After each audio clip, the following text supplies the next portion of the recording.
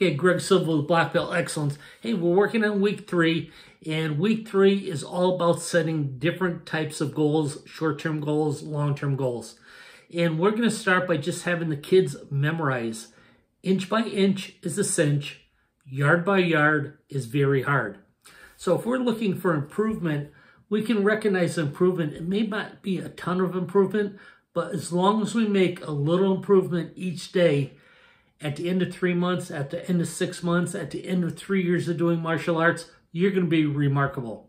But you can't expect it all to happen tomorrow. I mean, it probably could happen tomorrow if you stayed up, you know, 24 hours and just train, train, train. Nah, it's, it's not even going to happen with that. So kind of tell that to the kids and, say, and have them memorize. Inch by inch is a cinch. Yard by yard is very hard. So if you're doing something to say, hey guys, I'm going to teach you just part of this kick, and this kick's a spinning hook kick. It's a little bit harder of a kick, but we're just going to turn, look over our shoulder, and then throw a side kick. We'll learn to turn our shoulders, turn our hips, turn our head, and do a side kick. That's the first step for uh, learning a spinning hook kick or spinning side kick.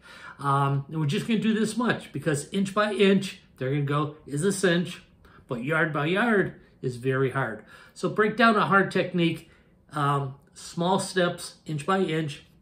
Make sure the kids know that inch by inch is a cinch.